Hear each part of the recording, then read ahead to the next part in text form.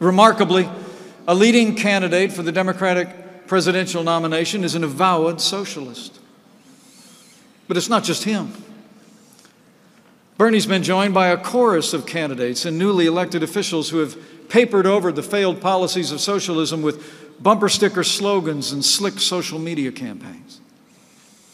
But what they're actually offering is just more of the same more taxes, more spending, more government, and less freedom.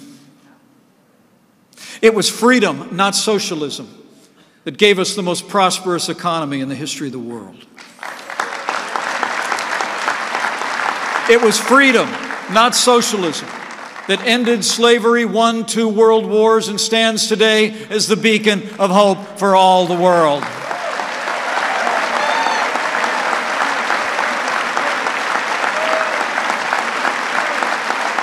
It was freedom, not socialism, that's moving us beyond the prejudices of the past to create a more perfect union and extend the blessings of liberty to every American, regardless of race or creed or color. It was freedom. And it was freedom, not socialism, that gave us the highest quality of life, the cleanest environment on earth, and improve the health and well being of millions around the world. It was freedom. What Medicare for all really means is quality health care for none.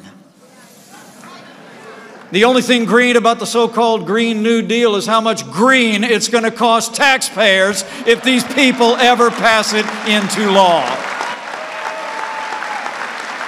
Venezuela was once one of the richest and most vibrant democracies in the Western Hemisphere, but under Maduro's socialist rule, it's become one of the poorest and most despotic.